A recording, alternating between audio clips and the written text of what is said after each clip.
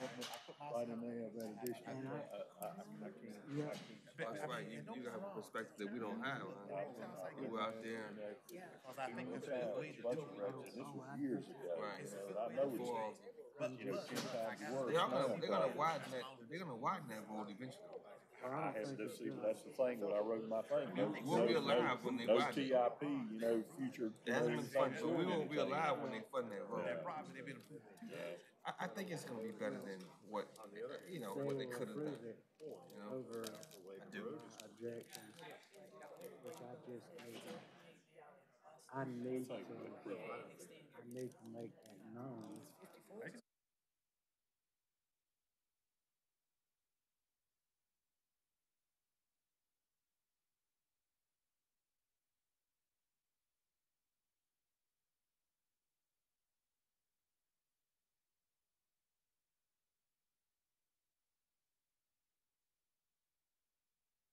Gone from one test to the other.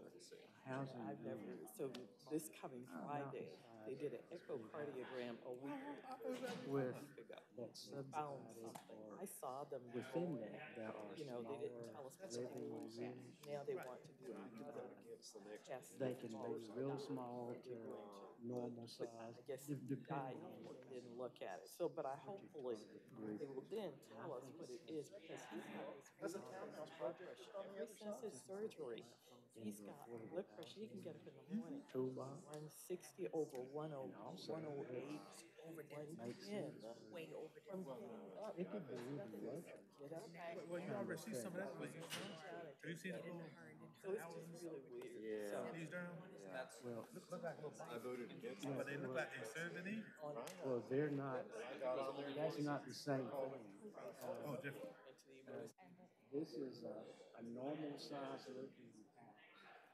That typically has So if we just divide it into what, three units or something? They they may each have some shared entrances. or they may- it may be designed so- Those little houses, that ain't gonna work. fell off the cliff, so I'm sitting in there, I'm like, okay. So he had surgery December, December the thirteenth. But before he had surgery, we forgot to. She had surgery. That's what, I mean, but Yeah. yeah, it's like, He was telling us about. He was leaving us with that. Yeah, the one that did, so he swears out Yeah. sepsis. And look, he's septic. That's just in his head. We don't know what he covered from this. So it sounds like you're doing. Yeah, know, I'll take mine as a win. Yeah, she's, uh, uh, she's doing well. So what, her blood pressures are running Yeah, pretty it's good? stable. I mean, uh, I missed last, last month because we, uh, have an annual family trip out to Maui, so. Okay, She was able okay. to fly. Oh my gosh, right. that is wonderful. Doing her yoga That's great progress. And the key is to stabilize your blood pressure. Once you Oh, get yeah, it yeah. stabilized. Have you the guys ever seen Commissioner Miller say yes, Commissioner Hornbuckle say no? I almost fell out of my seat, man. What was that? This, not- when I walk outside, it's gonna be snowing. Was that not a shock? I've- See, I- you live, get to it you live mine. over I in live that near there, area yeah. too, I, I so, think, I think it's gonna, that road improvement's gonna be good. right, It's not but, that much of an impact. yeah, but have you ever, can you imagine that crowd? We know who lives over there. Yeah. Can you imagine them getting on a bus? No, That's why, yeah, that's what I'm saying. I, I wanted to say that, but I, you know, I- nobody, nobody look. gonna be riding that bus. But we That's already why I- afford the housing issue. Don't Yeah. bring it look. I did not want, I said the same They thing. might take away from you. You talking about the bus, they be like, no, we don't want it now. You You know, talking, if you talking about, Yeah. if you talking about running a bus up and down, I looked at it, I was like. So anyway, I think that, I think we can get the turning lanes, I, I really think that that would, uh, probably, but it needs to be there. I Yeah. can't think of anything Those are better. good points, Ray, because at some point, I'm sure the community will get that right in. That's right. Because it's like, it's very. Well, did you, you hear what, you hear what Mr. Judge said? He said, well, nobody had really addressed it, but it will. Oh, yeah. Definitely will be that. Concrete in the ground, they'll start. Yeah. Those are good point but So the nice, turn, Look, have you noticed that we start waiting? Look, especially. But let me see what. Let me see what everybody else gonna say. Like, okay. I, I think I may, something to the NCDOT, Okay. engineer. I- Okay. I- Okay, well, it sounds like this will be a good thing. Yeah, that's um, probably where. I'll give it to the chair. I don't know how Oh, yeah. I- It'll get to where it needs to go. Mayor had her talk last I mean, I, I, I just, I'm on fifty-four too oh, often. And I, I've, I've seen too many idiots out there. But I have to admit, sometimes I feel like I ought to go ahead and, But you know what, when she, when she was talking about the, clean- you I hate clean cuts, clear cuts. Oh, yeah. Just go in there. Well, what they did at that corner fifty-four, said, hey, Harvey Road. Oh, Way down there. close to where I live.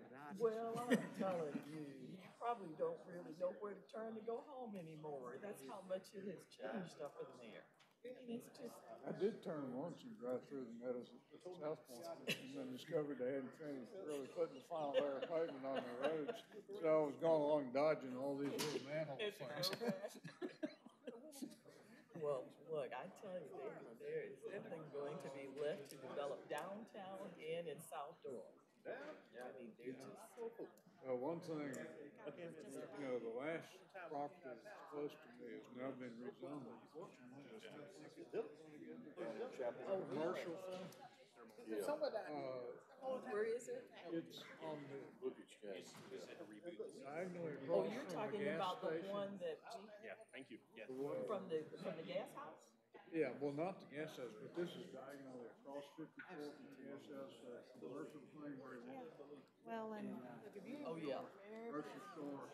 Two thousand square feet and wanted to put in a. I was on officially met my hands Oh, I'm here. Nice to meet you.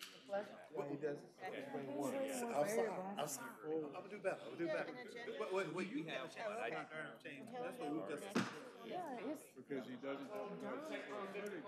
Durham is going to follow Raleigh, because I just read a study, Raleigh's millennial population is on the downswing, and they're having issues with all those. but Durham is supposed to be the top place. You see the study last week said Durham is top place. Raleigh was the top place, um, six years ago. D- Raleigh was the top Durham place for millennials six years ago. But Durham is the top place right now. Yeah, and now Raleigh's on the That- that- That's downswing, it.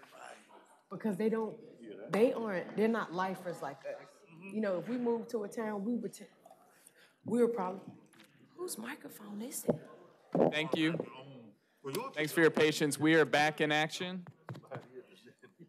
We were. We will move to our second zoning hearing in case of the evening. This is the 1900 Hillandale 2 case. This is case number Z170049. And we will start with the staff report. And again, if you are interested in signing up to speak during the public hearing, please sign up to my left. Um, Jacob Wiggins with the Planning Department. It's come to my attention that the applicant for this case, uh, would like to request a continuance to the June 12th hearing. Um, So if the commission uh, would be willing, I would recommend turning it over to the applicant at this point. Great, thank you. We will welcome the applicant to speak. If you can come up to the microphone, please.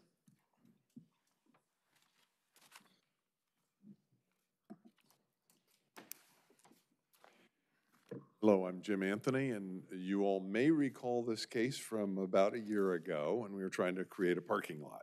And we took you at your word and went home and came back with a townhouse project that we've been working diligently with the neighbors to reach agreement. We have done that, but we had so many tweaks that we made to it over the last couple of weeks that now it's really a new submittal. And Jacob has made it clear that due process must be followed. And so we are asking for a continuance so that the new plan that goes with the rezoning request has all of those committed elements that we have agreed to with the neighbors. So that document will be in your hands before we meet next. And so we'll see you in two months, assuming you grant our continuance. Thank you. Great, thank you very much. And, and I will say, I think on behalf of the Planning Commission, we appreciate that you are going to take the time and bring back a proposal that, that has everything in writing, so we have time to deliberate as well. So the, the request is a continuance for two cycles. Are there any questions or comments before we move forward with entertaining that motion? Maybe. Um, I, I think I said the same thing last time with the Rollingdale. I, I- I noticed there's some neighbors in the audience that may want to speak to this, and I would hate. They agreed to it. Yeah, I think they did, but I want to make sure that's the case. That, that, that's a fair question. If there, if there are any neighbors who would like to speak this evening, why don't we, uh, why don't we? we you? we've not opened the public hearing, so I'm not sure that we, Yeah, we've got to, see if you're gonna continue it. Yeah, we will, we will open the public comment period, and, uh, actually, why don't we bring up the sign-up sheet as well, and we can just give anyone the opportunity to speak this evening. Thank you. I'm Olivia Moore, 2104 Dartmouth Drive. And we have worked diligently for the last couple of weeks with, with Jim, um, talking about height, um, building materials, types of construction that's there, setbacks, buffers. And he has met with us a couple of times, and we have come to an agreement. We have um, development comments that he was going to present tonight that we have agreed to as the neighbors. Um, So we'd love to see it in writing, yeah, absolutely. and we have no problem with the continuance. Thank you. You're welcome. Thank you very much. If you don't mind, we could have you sign in as well. I marked it through when he said, we'll do that. Oh, you're on here, never mind, we've got it, we've got it. Thank you very much. I'll second that motion to continue. We- Do we have a, We don't we do have not have a motion yet. I'll make a motion to continue for two cycles. Uh, second that. Uh, Properly moved by Commissioner Ghosh and seconded by Commissioner Satterfield, but we want to hear from the Yeah. staff. Can we make that a date certain? Uh, That date certain is the June 12th Planning Commission hearing. June, June I meeting. will amend the, June- June 12th. amend the motion as such. Great. And seconded as such. So the, the motion now has been properly moved and seconded for a continuance to the June 12th Planning Commission meeting. All those in favor, please raise your right hand. Any opposed? Great, that is unanimous. Thank you. We'll see you in June. A, a reminder that the next item on the agenda has been moved to next month, the Chin Page Road case. And so that will be back next month. And the final zoning map change this evening is the JC Electric initial case. This is case Z18 quadruple zero four A, and we'll start with the staff report.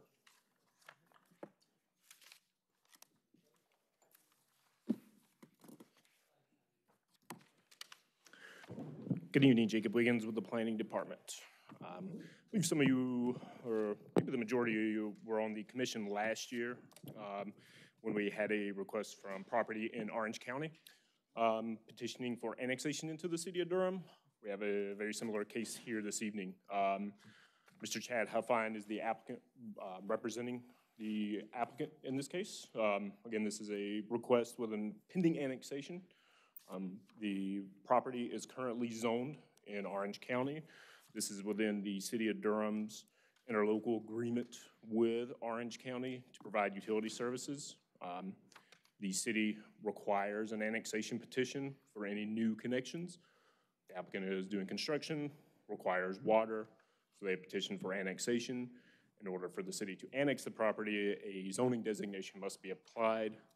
So the request before you this evening is a recommendation as to the industrial light zoning category for these two parcels of land. The subject site is highlighted in red um, in front of you.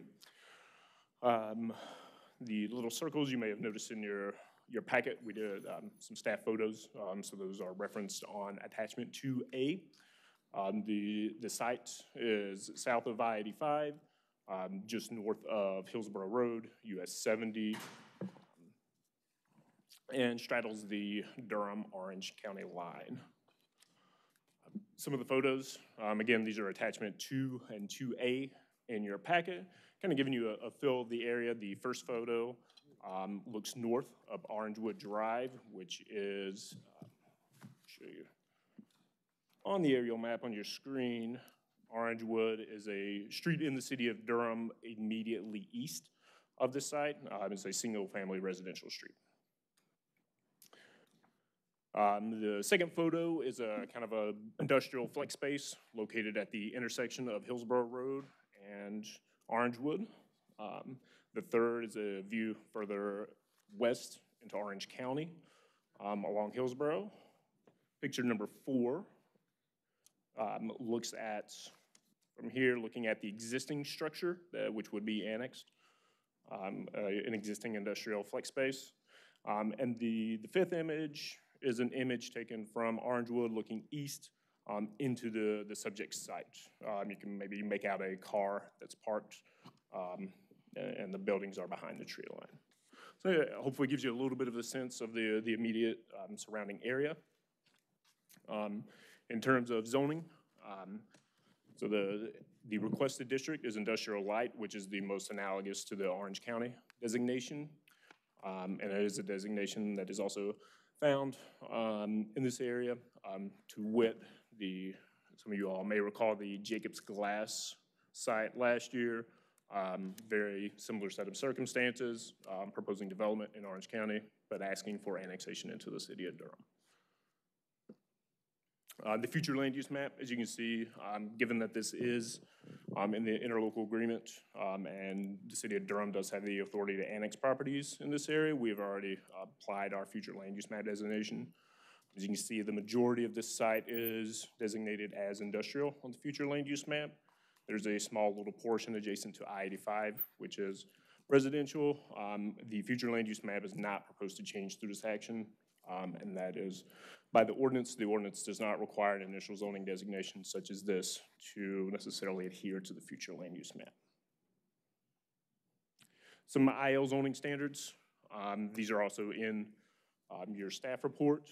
Um, Generally, you're looking at a side area of 25,000 square feet um, with appropriate um, lot widths and street yards um, to hopefully buffer the, any uses that will be found there.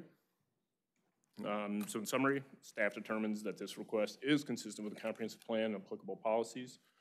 Um, Again, this is just a request to apply a zoning designation to city standards, um, and this, uh, along with the associated annexation petition, will be considered by city council after this body makes a recommendation. And I'll be happy to answer any questions the council, or I'm sorry, the commission may have at this time. Thank you. We'll actually move to the public hearing, and we'll open the public hearing. We have one individual signed up to speak for the proposal, Chad Huffine. Thank you, Commissioner Busby. My name's Chad Huffine, 505 East Davis Street. So close. Burlington, North Carolina, 27215. We appreciate being seen tonight. Uh, We bring in an exciting uh, opportunity to grow the city of Durham. Uh, We're in Orange County, Orange County proper, and this is a, a case that's necessitated by the extension of water and sewer through your utility extension agreement. Um, State requires, I'll just add to what Jacob said, uh, the sta- state of North Carolina requires that you apply zoning to a piece of property as, as it's annexed, and so that's the, the meat and potatoes of this case tonight. I'm here, Jacob's here to answer any specific questions that you may have for us going forward, and again, appreciate the opportunity to, to come in. Thank you. Great, thank you very much. Is there anyone else who would like to speak? If not, we will move to close the public comment hearing and open it up for any commissioners, any commissioner comments or questions. Commissioner Ghosh? Thank you, Chair Busby. Um, Question for staff, a couple questions, and I apologize in advance because I'm not sure how to articulate them. Uh, So when the Jacobs Glass um, annexation came through, I don't know, last year, there was mention of some special provision in the interlocal agreement whereby maybe the city could extend utilities without the property being annexed. And I never did uh, understand that, and I wonder if you guys could provide some insight on that? Sure, Jacob Wiggins with the Planning Department. In the City Code of Ordinances, there are um, some potential exemptions Uh-huh. for this area. It's a certain set of criteria that one has to meet, um, and it has been determined that this project requires annexation. Okay, and um, I know this annexation is being sought uh, to extend the public utilities that way. Um, You pointed to that one parcel to the south that I, I guess is Jacob's Glass. I didn't recognize that in- initially, but um, my, I'm wondering, does parcels in between, do they fall into this uh, agreement? Could they potentially be annexed? Yeah, I'm Jacob Wiggins again. So anything identified on our future land use map in Yeah. this area is subject to the annexation agreement. Um, The applicant, it's, uh, annexations are voluntary, so an applicant would have to Right. petition for such. I will say the, the city does already have some utilities in this area, so actually, um, Mr., or the, this site actually has an existing water connection, it's just they're requiring a second connection, which is now- triggered these annexation requirements. Okay, all right, thank you, that's all. And I'm inclined to support this application, just had those technical questions. Any other questions or comments? Commissioner Miller? So I have a bunch of questions. Um, f- I can't tell from the map, but it looks like, I went out there, uh, and went to the end of, of, of the residential street where Bird hits, and the property drops down fairly dramatically. Is there a jurisdictional stream in there, and is there a stream buffer, uh, required? Jacob is the planning department. I'm not aware of a, I'm not aware of a jurisdictional stream in that area. If there is one, I don't see, I don't see it here on our context map. But if there is one, it would certainly be subject to any buffering requirements. When I look at the zoning context map that's provided in the report, I see one, but it looks like it, mm-hmm. so if you, can you see that? There is a dotted line stream that runs through the yellows, and then it, it runs along with the black dotted line, which would mm-hmm. be the current city limit line. And then it emerges from that to the west, and then rejoins it. Uh, and so, but you don't know whether or not that actually imposes a buffer requirement. No, so my apologies. I was not looking um, at the correct map. There, yes, that is a, since it's on our map, it is a regulated stream that, and there So it's it will going to be at least a to buffer. fifty? Uh, depending on intermittent or perennial, it could be 50 or 100 feet. Yeah, but at least a fifty. Yes, sir. If it's intermittent. A minimum of 50 feet, yes, sir. All right, that helps. Um, my biggest concern with this rezoning application, there's no development plan. We're proposing to put indust, light industrial next to, uh, a, a single-family residential neighborhood. And when, I think that when we do that, we should have a development plan that has some fairly extraordinary or some additional protections, uh, in there, and we don't have one. What is the buffer, without a development plan requiring a particular kind of buffer, what is the minimum buffer that would uh, be required under the IL zoning? IL adjacent to RS twenty, it's probably going to be a 0.8 opacity buffer in this area. And what's the minimum width? I realize that can vary depending upon what we put in. believe it's fifty feet. Let me double check on that for you. Thank you, Jacob. That's right. And I've, well, Jacob, you're probably the only one that would know this too. Uh, I will say that I tried to look up EDE one and EDE two and was not very successful. Um, I'm sure that it was my lack of skill and not Chapel Hill's lack of transparency. Um, so I'd also kind of want to know, what are those zones and what goes in them? Their titles do not suggest intensities to me. I'm, I mean, I, I'm not an expert on Orange County zoning designations. Um, based on my conversations with them and my understanding of the allowable uses in the EDE districts, that it is most analogous to our industrial light district, that the, the range of uses are similar uh, between the two districts. Unusually, we have a site plan here, but it's very small detail. I mean, it's just, it's small, so I had a hard time reading some of it. Um, And I realize that they can change the site plan. This is currently what they propose. Um, um, It's an administrative process. Uh, It does not show a connection, at least I don't think it shows a connection to Bird, but there is uh, nothing that would prevent this property from having a connection to Bird if it were zoned industrial, light industrial. Is that correct? And unless there is a physical feature there that's prohibiting that, that connection, then no, then I would assume that the applicant could make a connection. I'm not, that is not to say that that is a required connection.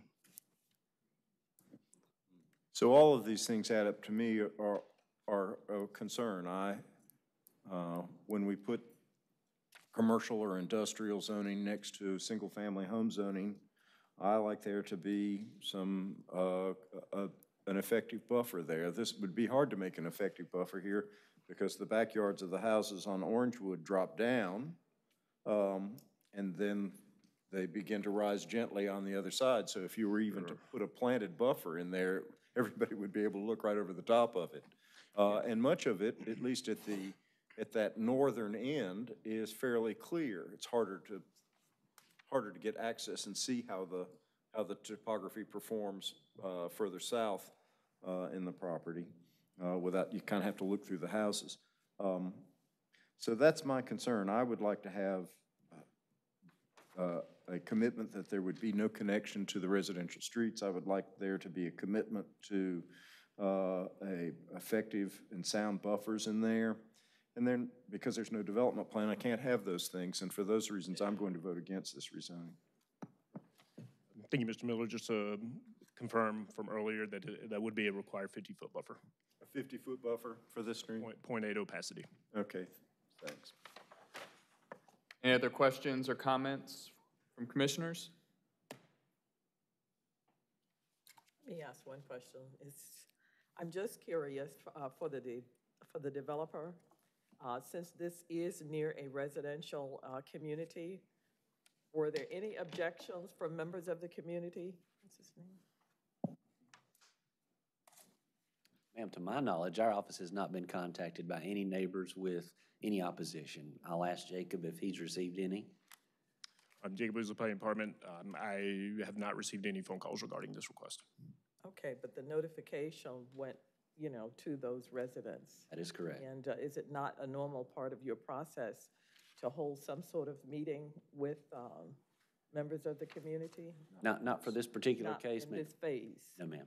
Okay, Not at this case.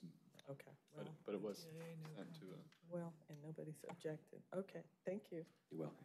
All right, now you're acting like commissioners. Commissioner Satterfield. Thank you, Chair.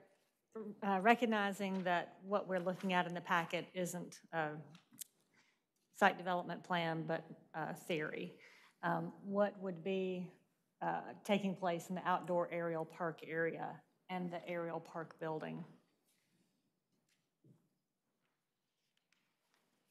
And again, this, you know, that's, there's no guarantee that that's what would end up happening on the site, but presumably some thought went into at least this concept.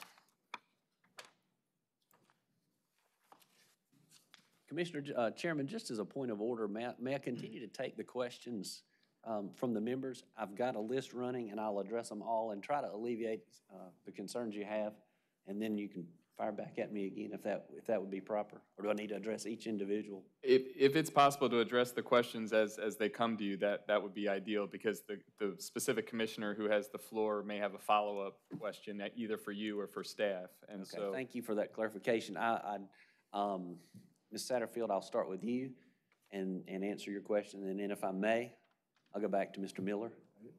Okay. Uh, Ms. Satterfield, thank you. The outdoor aerial parks, climbing ropes course, um, zip lines, that sort of thing, on the outside portion, on the inside portion, you have trampolines and activities, um, uh, consistent with gymnastics or just recreational fun time. Thank you. You're welcome. and you may ad- address any uh, follow-up to Commissioner Miller's statements. Okay. Um, and, and Ms. Hyman, then I'll, I'll come back to yours too. Um, Mr. Miller, on the east side of the property, um, there, there is no current connection to Orangewood or Bird.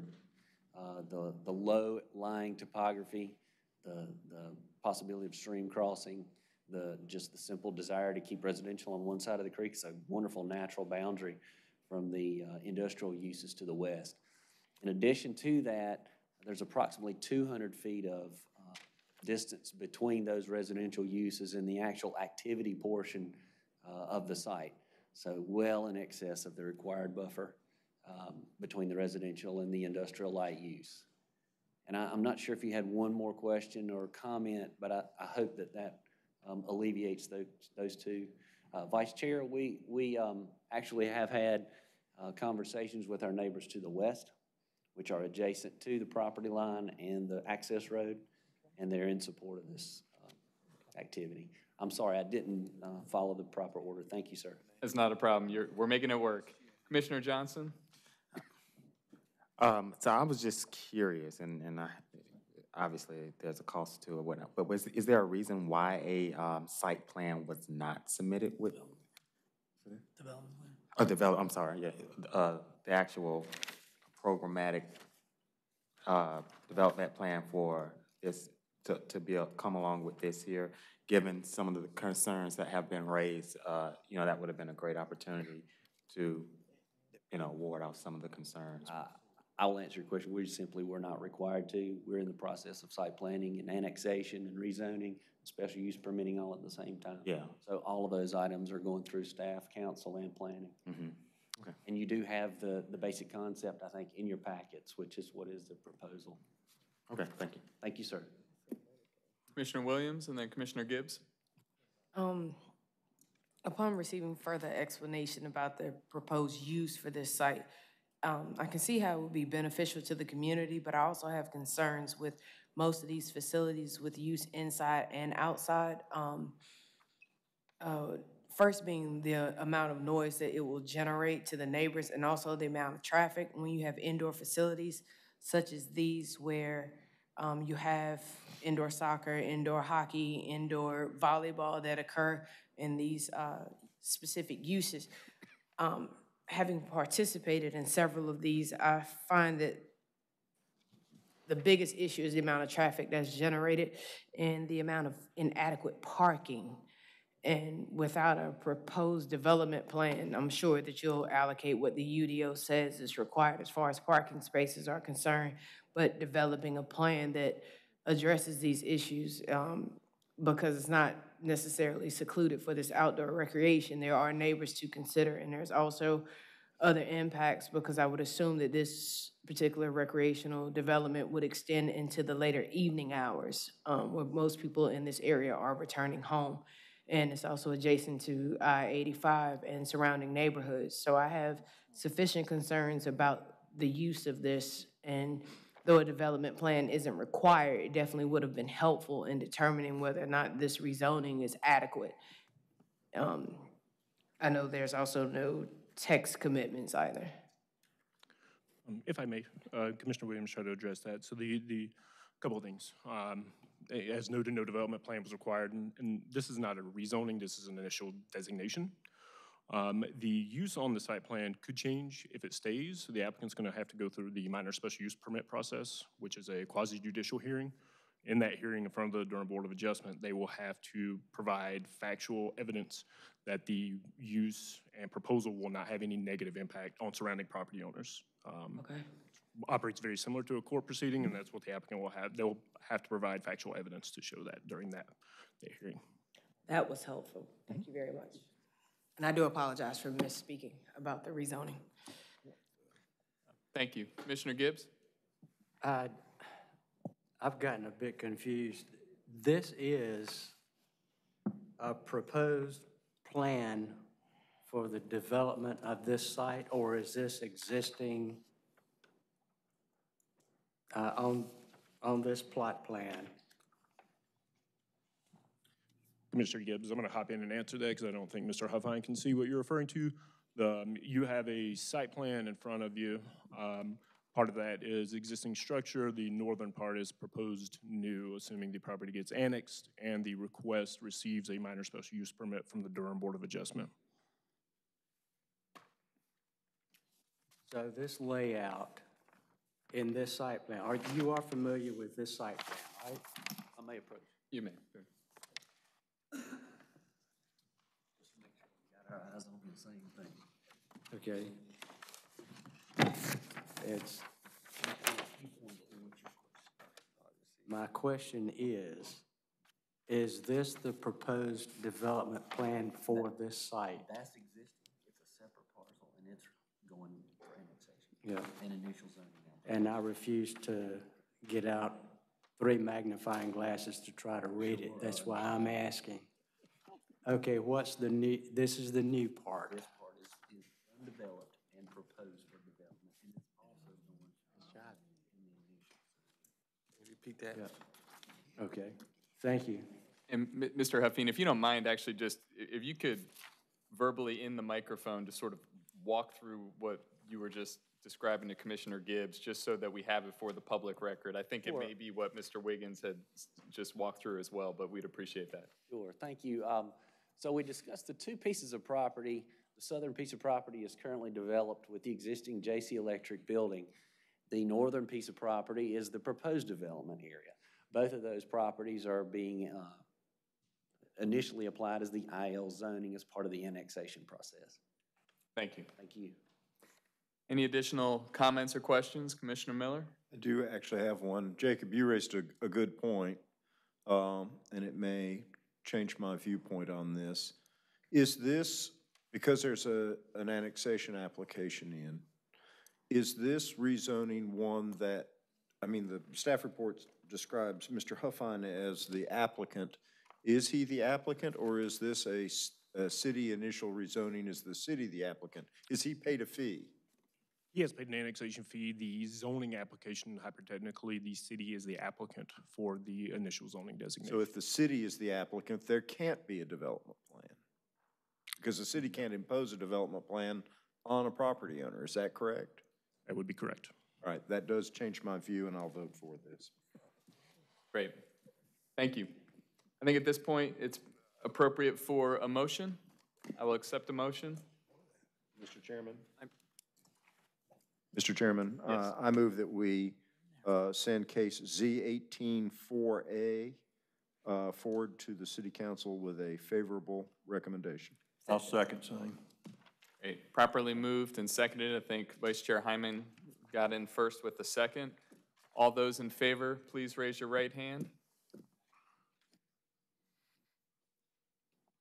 Any in opposition?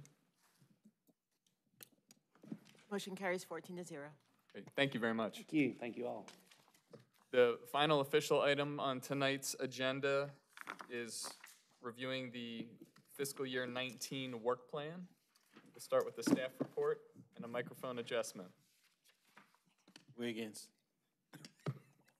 Sorry, old lady with uh, arthritis can't. Not the first time they sent it to us like in an email. May this be the hardest part of your presentation. Please, dear Lord. I just have really strong muscles. Let's note that for the record, shall we? Sorry, Sarah Young with the Durham City County Planning Department. Um, The item before you tonight is the annual proposal for the department's work program. This would be for the fiscal year that begins July 1 and runs through June 30th of 2019.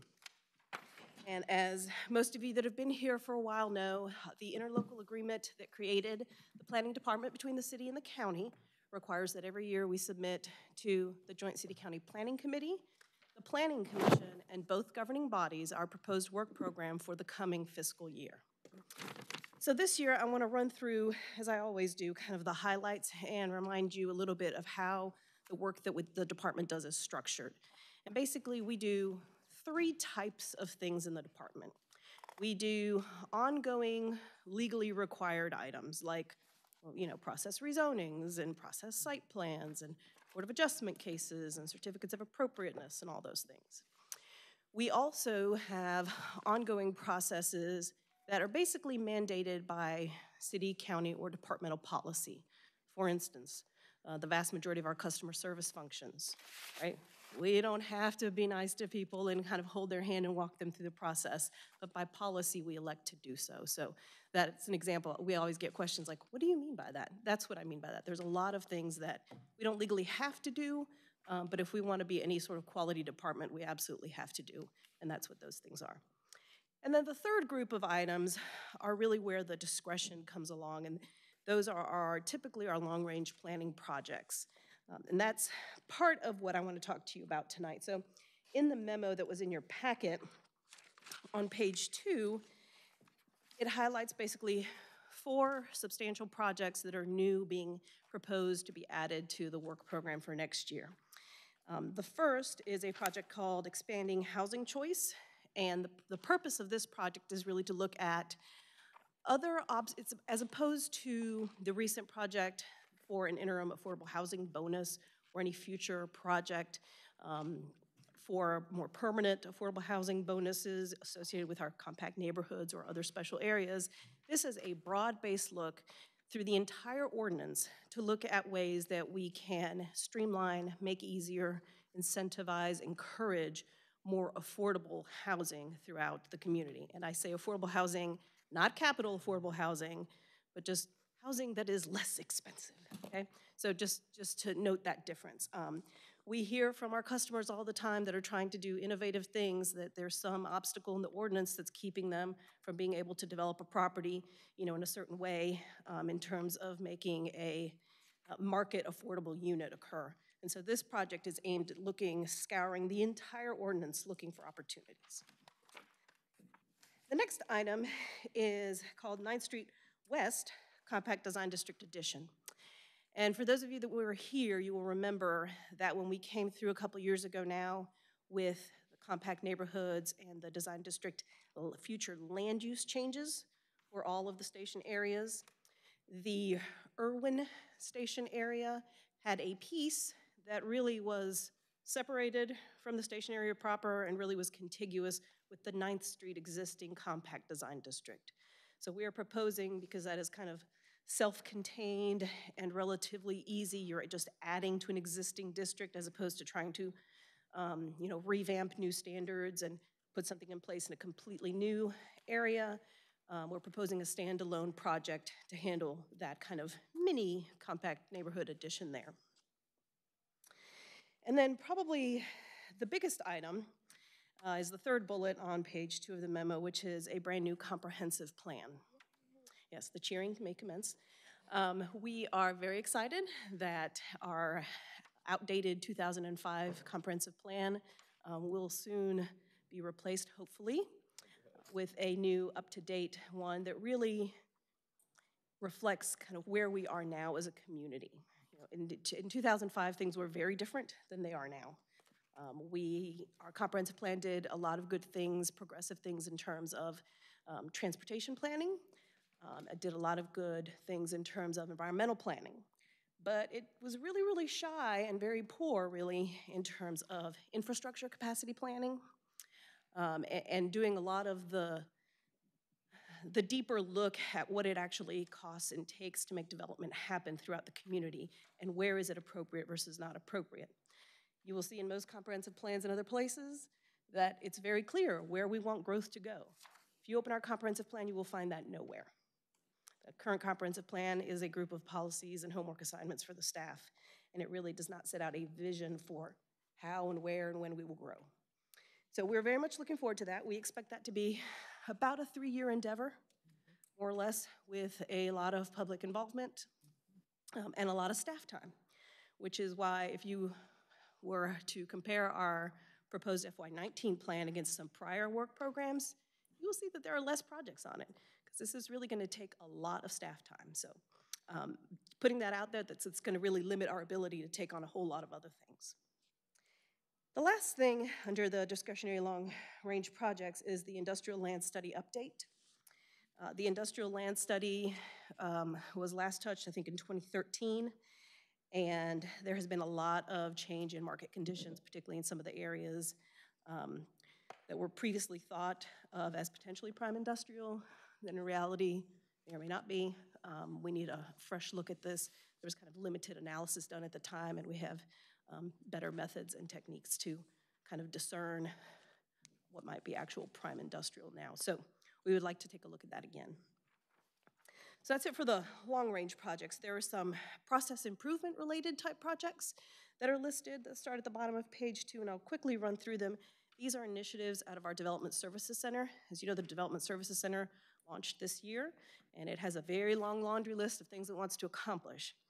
Um, they are talking about creating a new optional pre-submittal type meeting for folks. You know, pre-submittal meetings are required for a lot of our processes, but they're not for many things. And people really benefit from the ability to get together staff from various departments to deal with issues before they submit. So getting, being able to assemble a cross-departmental team is no small feat. And so we're trying to put in place another process to be able to do that for folks where it's not strictly required. Then there is, on the top of page three, zoning permits. And zoning permits are a little bit of a hybrid of some of the exercises that we currently do at the Development Services Center as part of our basic uh, customer service functions, looking at people's zoning, verifying whether there's any outstanding violations on a property. Um, people come to us all the time trying to do due diligence and do their homework basically on what they can and can't do on a property and what may be hanging out there that they need to be aware of as they try and plan what they want to do with a piece of property. But there are a lot of instances where smaller projects, uh, things can fall through the cracks. Uh, particularly, there's a lot of single-family development. You know, it doesn't require a site plan, uh, but there's still a lot of things that come into play. And so we're trying to have a unified place where people can come, get kind of all the boxes checked. Hey, I looked at this, I looked at this, I looked at this. I'm good to go with whatever my proposed development is. It's kind of a quick, high-level vetting of a piece of property for a potential applicant. And then the last thing is the small cell wireless permits. There was some changes in state law that uh, precipitated this particular uh, proposal, um, but basically we have a, a, new mandate to process these small wireless permits, um, including a fee graciously um, affordably set for us by the General Assembly. Mm. but so we need a process to handle this, and that's that's what that is. Um, a lot of this work is also coming um, with a request for additional staffing. Um, so just be aware that the memo says that we're, um, this work program represents 46 full-time equivalent positions. And if we do not get the full allocation of the additional positions that we're requesting, then the work program will have to shrink accordingly. So that's kind of my disclaimer. What you see may not be what you get. We'll see what happens. So I'm glad to answer any questions. I know I rushed through that, um, but I know you guys probably would like to get home. So happy to take any questions. Great, thank you very much. I know we have a, we have, get comfortable. We have a set of questions. Uh, one question just that I had before we get to the, the other commissioners. So what is the current FTE for the department? We are currently at 44, so we're asking for two positions. Great, okay. And, and you- Doesn't sound like a lot, it's a lot. No, it's a lot. Great, thank you. Commissioners, uh, Commissioner Ghosh. Thank you. Um, Sarah, I had a question about the zoning permits, well, a couple questions. Um, are, is this something that would only be required for projects like single family that don't require a site plan? Mostly, however, people could use them um, to check on other things. And I don't have the full detail with me of what all would be covered under a zoning permit, but it would primarily be single family. There would probably be other small scale things that would be covered under this as well. Uh, okay. Basically, something that doesn't need some other type of entitlement, like a site plan or whatever. Yeah, And We have a yeah, handful yeah. of those things. You know, for instance, fences, right? We have fence standards in the UDO. Right. But we don't have fence permit. You know, other places have fence permits. You got to get a permit to put your fence because we need to verify that you put it up at the right height. And we deal with it on a complaint and violation basis here. So stuff like that that's in the ordinance but doesn't necessarily have another process that covers it would probably be covered by this. Okay, and then, uh, this high-level vetting of the, of the, whatever proposal may be, of the property, is this like a on-the-ground, like an inspector goes out there and says? No. So this is uh, basically exhausting every in-house resource that we have. You know, we cross, we would cross-check, um, you know, are there streams on the property? Would you be subject to a stream buffer? Okay. Are there, you know, things that particularly that the average homeowner may not be aware of, or that the average, you know, um, small entrepreneur that's starting a little business or something on a piece of property may not necessarily be aware of. So it's a way to kind of tie a bunch of things together um, for folks that don't necessarily know where to look. So, my, my thought process is, I'm, I'm a little unclear on what the, I get why it's important to check this, but how is it going to affect the, let's say, the person who doesn't need a site plan is building a single-family home, and they do the zoning permit thing, and they say, oh, there's a stream, there's gonna be a buffer. How does this affect that person's ability to build the house? Right. So currently, there are some things that are zoning permit material that are being kind of ad hoc checked um, in other venues. So you come in for a building permit, for instance, from the inspections department to build your house. So by law, building inspectors, plans examiners, they only look at the building code. Okay. Guess what? We have setback requirements, right? If we're, if you're in the watershed protection overlay, there's an impervious surface limit. Right. Well, that's not their purview. They don't, you know, they, they, um, it has been, like I said, kind of ad hoc, whether those items really got checked or not, how thoroughly, how often. Oh, And So we're trying to kind of tie all the pieces together for folks. So, so the way it works now is basically, it's like, hopefully someone checked this. Hopefully. And this is meant to say, well, we're gonna make We sure we check it. absolutely checking it, exactly. Okay, that, that's helpful to know. And then the other thing is just a anecdote, and I'm from City of Raleigh where I've done some work, and it was related to a zoning permit, although it sounds like a slightly different item. So I don't know where in the sequence of approvals or reviews this zoning permit is intended, but what happened in Raleigh was the site got a CO, but did not get a zoning permit. And then it was found out later that in fact, there wasn't enough screening for ground-mounted mechanicals in this case. And, which is, which created an odd scenario. I mean, there's already people living in this apartment and they're getting, uh, the, uh, the property owner was getting, you know, uh, NOVs related to the not having enough screening. And, uh, and, you know, it was al- also too late to provide the additional screening. So anyway, the, the, the point is, you know, I don't know how, where in the process this is, but, you know, like, I would encourage there to be some sort of checks and balances. So if this is something that's gonna be required, it's required at the appropriate steps so that it doesn't, so that you don't get a CO before a zoning permit and then have this retroactive problem. And the beauty is that the inspections department, as you know, is one of our partner development services department. In fact, they are physically located in development services with us. So we are- feel fairly confident that that coordination piece will be able to be handled. I'll say, it happened in Raleigh, not Durham, so I have full confidence that Durham will be able to handle it. Those Raleigh guys, you never know, man. Because we make different mistakes than Raleigh. Okay. Commissioner Bryan. Thank you. I have a couple of quick questions on the Part B, uh, page 19 of 27. Uh, Item 5.2.8. Does that include food trucks? That, that is what it, it, yeah. Okay, So it's like carts, like the hot dog man cart, it's food trucks, it's, okay, that's, that's, and then on page 22, uh, item 5.3.7, uh, I will admit to being very ignorant. I don't know what you mean by C-L-O-M-R. Clumber. Clum? it's, uh, what is it? Something letter of map revision, what is the C? Certified letter of map revision. So these are changes to the flood maps. Okay. Uh, I just think that at some point in this thing, the first time you make reference to it, you might want to spell it out so ignorant people like me know what you're talking about. Noted.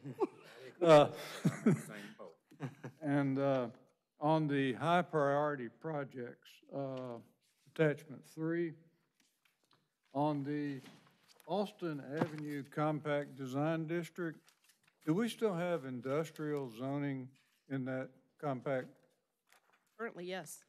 Okay, I'm, I'm still confused about, I don't want to get into it a lot tonight, but I'm still confused about how that's going to fit into a compact district.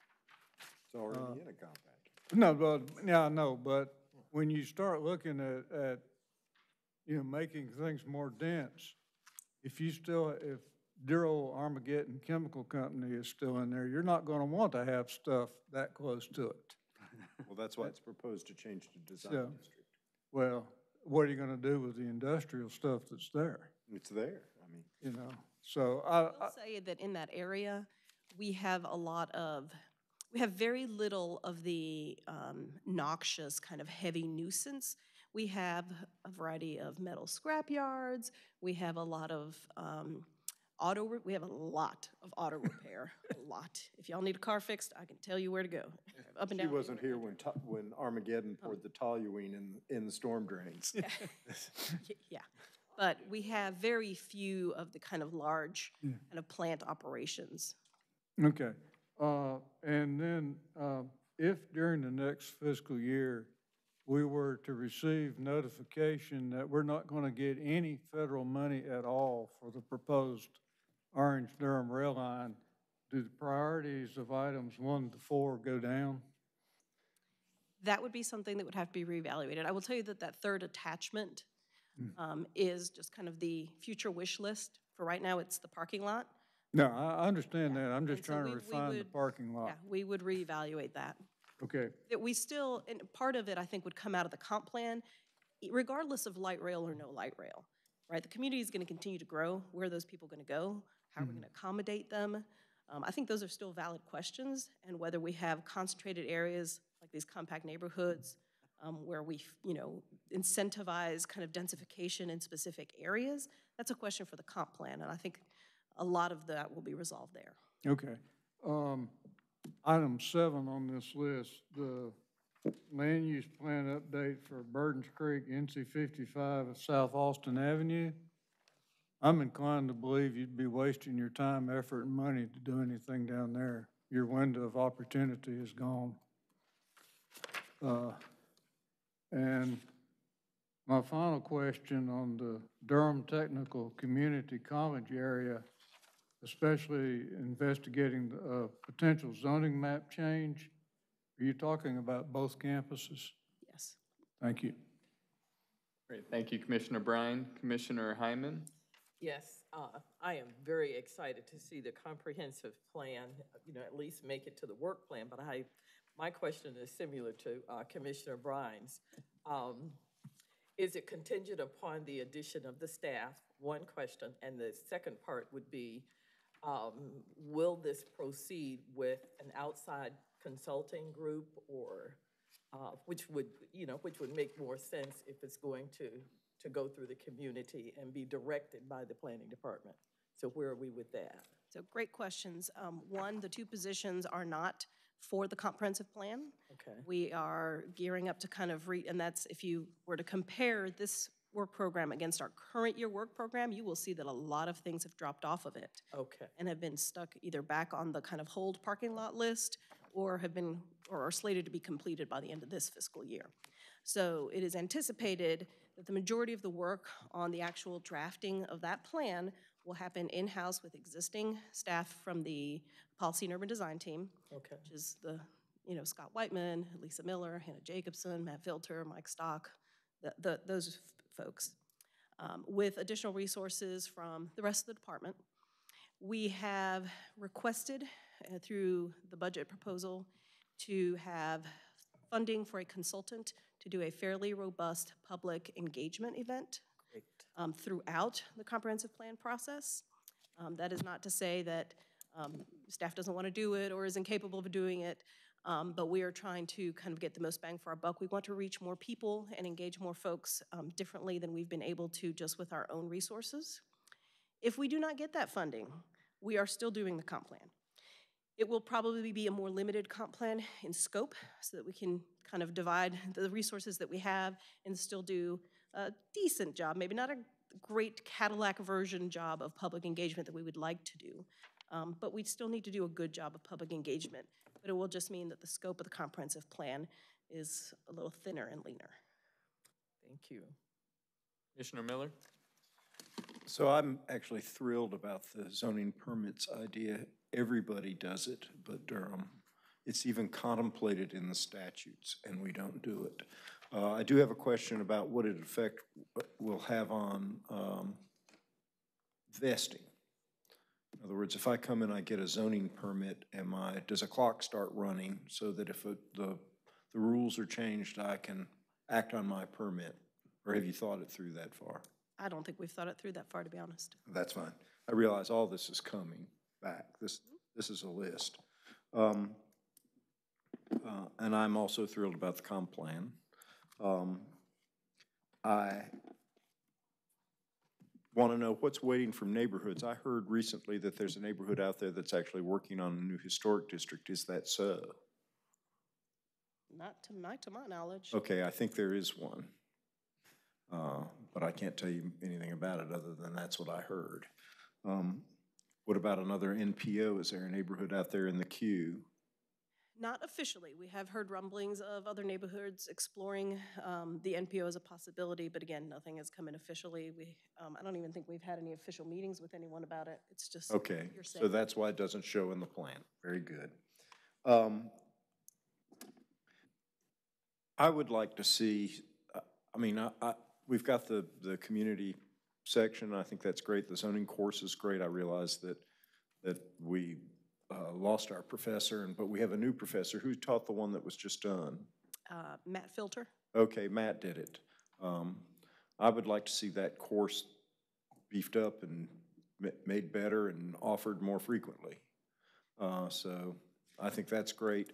I would also like there to be a, uh, a designated liaison, uh, from the staff to the Interneighborhood Council.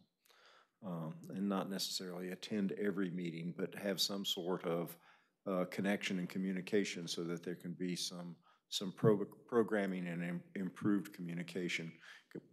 We have the, this body that's been around now since, gosh, 1985. Um, I think we could exploit it better. I would love to see that as a line item in the work plan. Uh, I will say that with regard to your uh, issue section in the, in the memo, and I, and I'm not saying that you shouldn't do it, but this whole idea of the missing middle, I find that laughable as a, an affordable housing idea. I mean, the, the whole concept and the term was created uh, in order to address what its uh, originator uh, deemed to be uh, as a housing need for people who were downsizing because of the aging of baby boomers, and it was actually a way to maximize uh, uh, housing profits from that segment of the housing market. Uh, and so when I see it used as an affordable housing tool, I always kind of chuckle. Uh, I personally don't think the economics are there. You cannot liberalize the zoning code into affordable housing. Prices in housing go down when there are national calamities or local calamities. National calamities being um, uh, recessions, local calamities are Detroit. Uh, other than that, I don't think a local zoning code can affect a national housing market in the way it responds to demand. And demand is supply, it comes from people who have improved incomes and can pay for housing. Uh, I think sometimes in Durham we have a tendency to confuse demand with need. Uh, supply does not respond to need. We have that demonstrated here constantly. Uh, and that, but uh, it is a, but we should, we should do something about need, but I don't think you can do it with zoning code. Um, I think this is a, a really nice uh, layout of, of these issues, and I like the opportunity to talk about it rather than just watch a slideshow, so thank you. Commissioner Williams? Um, I'm particularly excited about the changes of trying to streamline the UDO and make it more flexible to those that are actually trying to use it to better the opportunities for development, whether it's for affordable housing or if it's just for actually upgrading properties, because there are certain hurdles that developers and contractors face now that if they were eliminated, would make it easily accessible for people to change their properties and without having the issues that we've had with some of the proposed boundaries that have been put in place for NPOs, which make NPOs actually more of a tool for existing residents and even for future residents. So I think the process of getting to the point where we can make the zoning more fine-tuned and relax some restrictions that developers may have, it makes it more attractive even for using existing properties.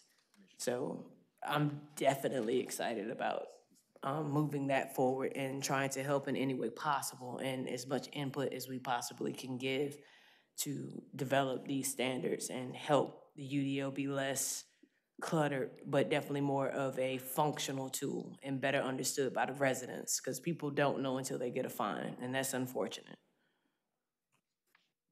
Thank you. Uh, Commissioner Gibbs? Uh, I would, in, in looking through this, is this speaker on? Uh, Anyway, in looking through the, the, the list of things, uh, when I ran across missing middle, I was uh, kind of excited because I think this is uh, one of the tools that could be used uh, for density without taking up so much footprint or ground space. Uh, Just one of the tools, but this is not, which we all know, is not uh, a new concept. It's been done,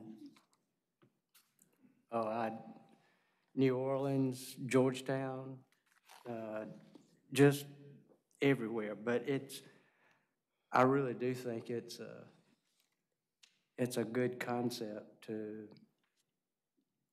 and it has an application. So I, I just wanted to mention that.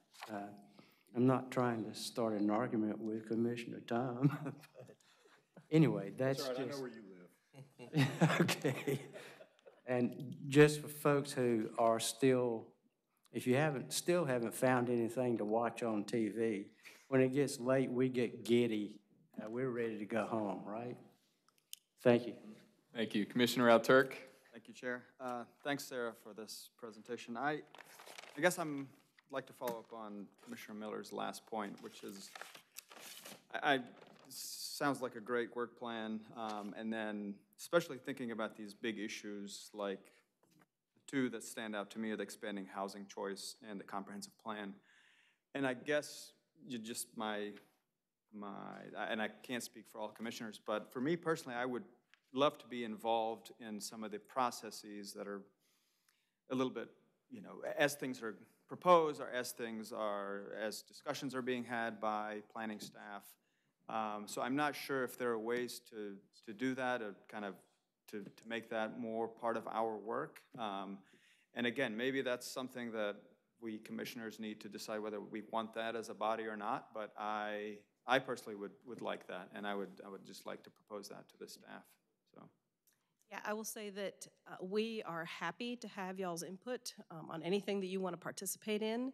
Um, I know in the past, we have had commissioners come to uh, public meetings and workshops that we've had with the public on various projects and both kind of observe and hear what people were saying and themselves kind of participate. So we are more than happy to do that. I will say certainly I expect with the comprehensive plan um, and the hopeful anticipated level of engagement that we plan to have, I think there will be more than ample opportunities. But um, any project that we work on, we welcome y'all's input and participation. I think it's also good for the community to see you all um, participating with them at events. And so we'll make sure to pass along every time that we have um, any opportunity. You know, we're doing a variety of things. We do traditional workshops, um, public meetings, um, open house style meetings. We do focus groups. Um, it may be good to have some of you serve on some of our focus groups. Um, if you don't feel comfortable participating, at least observing and being able to take that back to the group. Um, so we're happy to, if you have particular specific ideas of how you want to be involved, please send those to me. We're happy to accommodate that. Absolutely. Thank you, because I, I don't think I am aware of those workshops and meetings that you have. So, I mean, I, I know they're publicly um, available, but I, I, I'm not aware of them usually. Um, So that would be great. And I would also just, the, my second part of that was that maybe some of our, I mean, if- and I, I get that we want to be efficient with our time, but if, if there are things that we can discuss as a group in, in this meeting, in this space, I, I'm, o- I'm open to that as well, but I I will leave that to others as well. Uh, Thank you, Commissioner. And actually, you, you raised a point that I was going to mention as well. I think knowing that this is going to be a, a three-year process, and it's supposed to be deliberate, uh, having the public hearings and opportunities for us to be engaged in those type of events makes a lot of sense. And I think it'll be important for us to help spread the word to make sure that our, the citizens of Durham know about it and can be engaged. But it does seem like we as a working body will be available and could be helpful. I don't have an idea yet or a proposal on how that might be the case, but it does seem like as it moves forward, this is a place where we could be a sounding board. We could certainly help uh, think through as a body some of those options, especially when we have meetings like next month where it sounds like we have one agenda item. We'll have months like that where we may be able to utilize our time and, and offer our input in a way that may help advance some of the, the public meetings and other events as well. So I'd be interested at some point, I, I know the staff has so much free time, but it would actually fall under this work plan of a comprehensive plan. It'd be interesting to find out, have other communities engaged the planning commission beyond just we show up with the public, but is there a way that we can be engaged as a deliberative body? And I think that's what I hear you saying as well. Uh, and I see a lot of heads nodding. I think we'd be interested in exploring how how we could do that and how we could be helpful. Commissioner Miller? So, uh, just to point out an example, although I was not sitting as a commission member uh, last month when this body considered the Old West Durham uh, Neighborhood Protection Overlay change, I was struck by what Mr. Bryan had said uh, after the vote was, is that the Planning Commission, uh, in connection with the uh, consideration for the Tuscaloosa Lakewood uh, NPO, had actually, actually been given before the public hearing, had been given a kind of a, a briefing somewhere in the process as it was being developed, rather than just seeing it for the first time. Uh, I was struck by the fact that I believe that the quality of this body's uh, uh, deliberation on the uh, Old West Durham NPO uh, would have been improved had there been some sort of opportunity that wasn't divided between proponents and opponents where there was real engagement about how, how it was going to work.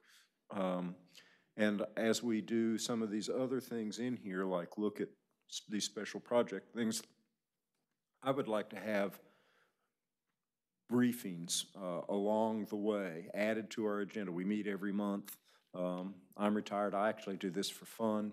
Um, and uh, the, uh, but it does matter. And I sometimes feel like when, especially when big projects where a lot of, where staff has devoted a lot of time, when you, when we, we come in at the end and vote, I feel like, gosh, I would have liked to have steered this a little earlier so that we're not throwing out everything simply because I might have been able to shape it or be involved. So adding a briefings at the appropriate stage in development to our agenda on these, these six or seven projects that you've identified here, especially like design district changes, and um, I would love that, uh, so that when it came uh, and we deliberated and we voted, that I didn't feel like I had to get it all out of a staff report, especially one that was this thick, um, that we had been brought along with the project. This is tough stuff. Uh, You guys are in, in the trenches. Uh, You are intensely familiar with issues because you're developing them as they happen.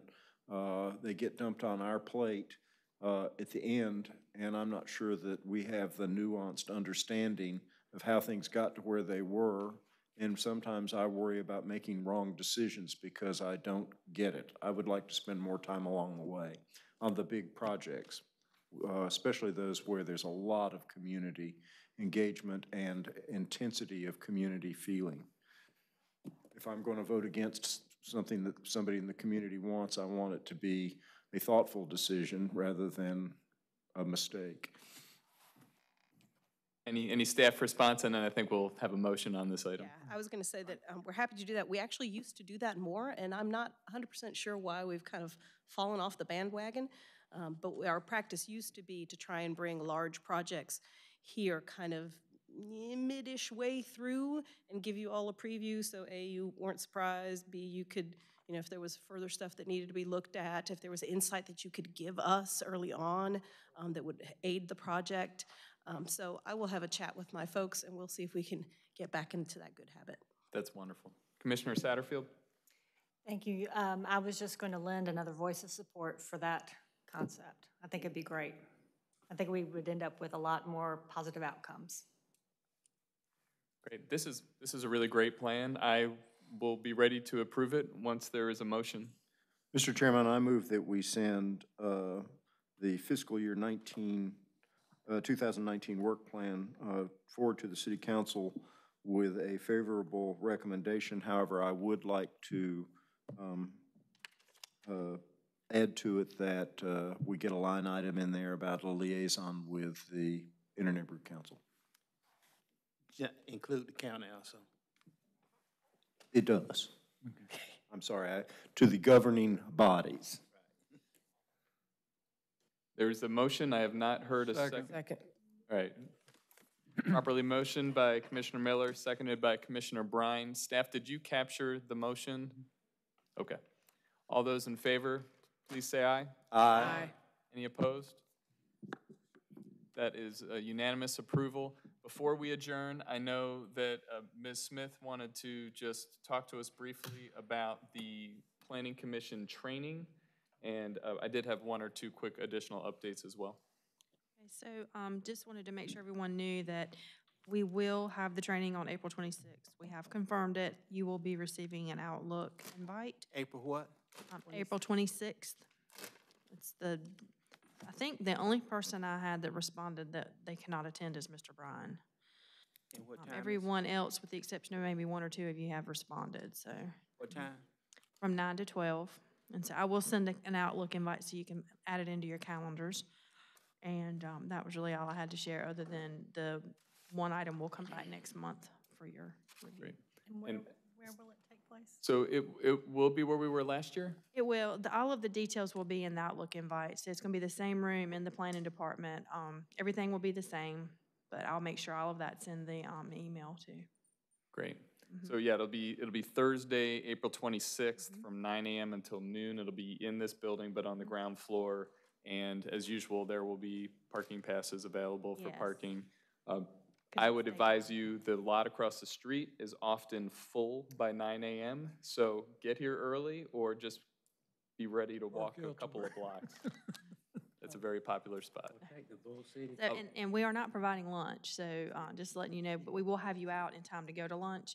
Uh, we may have some like very, very light I'll bring refreshments, but we're not having lunch, so. I live in the donut part of town, I'll bring. Bring some donuts, that'll be great. Perfect. And, and David Owens from the School of Government is joining us? Yes, Is that right? he is. Mhm. Fantastic. Thank you for setting that up. Yes, no, no problem. So just be on the lookout, to, uh, probably tomorrow afternoon sometime, you'll receive an, an official invite to put on your calendars. And, um, that was really all I had. Great. I just wanted to say, I, I, I know it's a small thing, but I appreciate the pictures that are in the staff reports now. That, that's new, and I noticed is that was new. Mm-hmm. consistent. I, I like it. It just adds a little, I know we all drive out and check things out, but it's nice, I think, from the public's perspective, it gives a lot more context, so keep that up. Sure, because the staff reports are posted on the website, so a lot of people read the staff reports in addition to the commissioners. Um, and we may change the format a little bit here and there over the next month or two. We're kind of tweaking exactly how we want to do this. So if you have any feedback, let us know. But, um, we, we think we've got it down to like where we like it. There might just be some minor changes. I will say, I would like to have the PDR density figure shown on the context, zoning context maps. So we have a range, so you don't prefer the range, you want that? No, I would prefer the actual density figure. Okay, we'll have to So much fighting is done around between four and eight. It, it helps to know. If you can do it, if you can't, you We'll, can't. It's we'll just look one into guy. that. Um, you know, there's, the devil's always in the details and it- I realize, it. the if you maps are can't, if you tedious can't and do it, you time can't do it. Consuming, but we'll definitely see what we can do about that. Anything else? This meeting's adjourned. Thank you. I thought, we didn't talk, but I thought the thing last week was pretty good. Which thing? In It Raleigh. was. It Oh, was. yeah. I thought it I thought it started off with a Interesting. little thin, but it got better. Oh, I, I was concerned. I just I was gonna get the whole plate before eight o'clock.